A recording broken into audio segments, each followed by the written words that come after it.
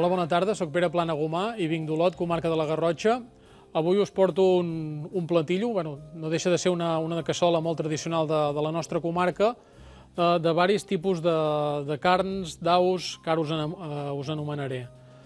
Aquí tenim pollastre, solen ser menuts, en aquest cas tenim les potes, les ales, també hi tenim conill, tenim ànec, colls d'ànec, la cuixa de l'ànec, pedrer de pollastre també, porta porc, papada en aquest cas, el costelló de porc, Uh, en aquest rostit també s'hi acompanyen unes mandonguilles, en aquest cas estan fetes de, de carn de vedella i papada de porc també, les quals les farem amb, amb molla de parra mullada amb llet, ou, julivert, una mica d'all picat i una punta de, una punta de sal.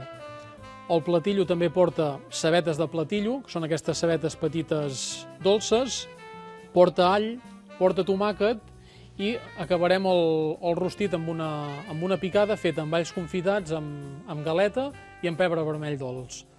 Aquí ja tenim una cassola, és molt important tenir-la ja a foc fort i ara el que farem serà posar aquestes carns que es comencin a durar. D'acord? Comencem per les potes de pollastre. Ens interessa doncs, que, evidentment, que quedi ben durat això i ben fregit. Hi posem els colls, l'ànec, els pedrers, els talls de conill i ja deixarem que això vagi a foc viu. D'acord? Hi posem una mica de sal i pebre.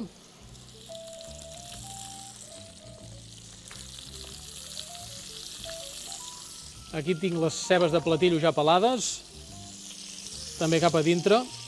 Aquestes cebes al final ens quedaran molt meloses, s'aniran coent amb la, amb la grassa que van deixant anar les carns i realment queden molt gustoses. I afegim també la cabessa d'alls, partida per la meitat.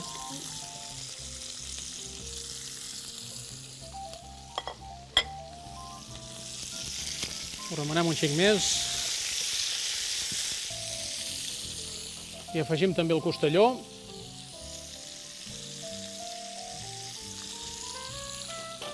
I ja finalment els dos daus de papada de porc.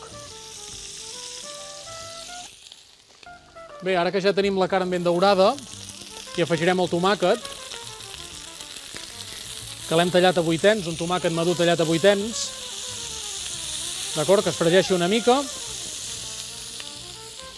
Picarem una mica de julivert, que a part d'aquest ja ens servirà per després les mandonguilles els polvoregem una mica sobre del, de la carn, del platillo.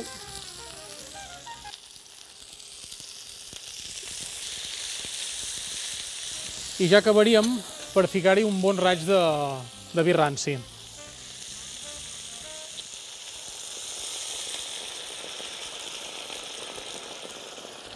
Bé, ja podem anar per preparar les mandonguilles. Aquí tenim la molla de parra mullada amb llet, la carn de vedella, de porc, i afegeixo el julivert i l'all picat, un ou,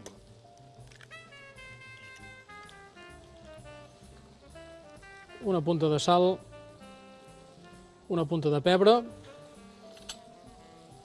I ja afegim la carn.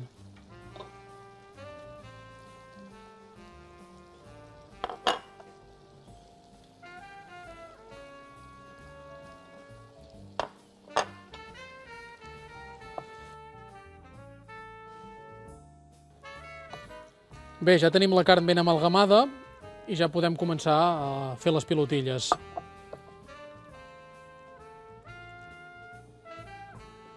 Farem porcions petitones.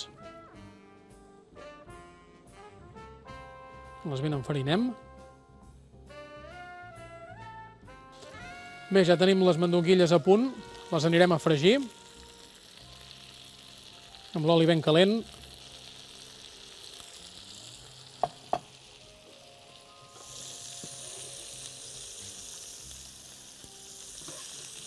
Bé, ja les tenim a punt. Les reservem. Bé, anem a preparar la picada ja. Aquí tenim un all confitat amb oli d'oliva. El posem a dintre del morter. També amb un xic de, del mateix oli l'hem confitat. I posem una mica de pebre vermell dolç.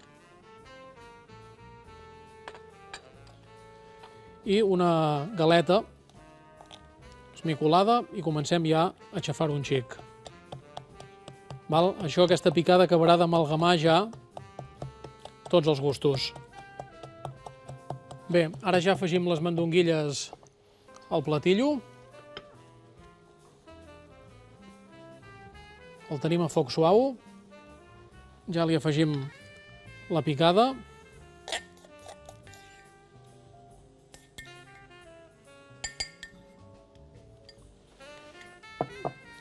Ho remenem un xic més i ja ens quedarà a tapar i deixar acabar de coure durant més o menys una horeta.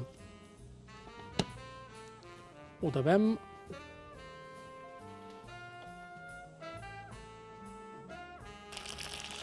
Bé, ja tenim la cassola a punt, l'anirem a emplatar. Com veieu, és una cassola de color marró, eh? fruit de la caramelització del vi ranci, de les carns ben dorades. Són carns que, que es poden menjar amb els dits, evidentment, carn molt gustosa. A la Garrotxa és un plat que, de grans dies, de dies importants, i bé, és un plat, una, una cassola, un rostit, que també la podem tenir preparada, evidentment, la vetlla, i que l'endemà, doncs, eh, rescalfat, aquest plat millorarà. Com veieu, és un plat de xup-xup, és un plat que, que vol una estoneta de, de preparació, però el resultat és molt, molt gustós. Moltes gràcies.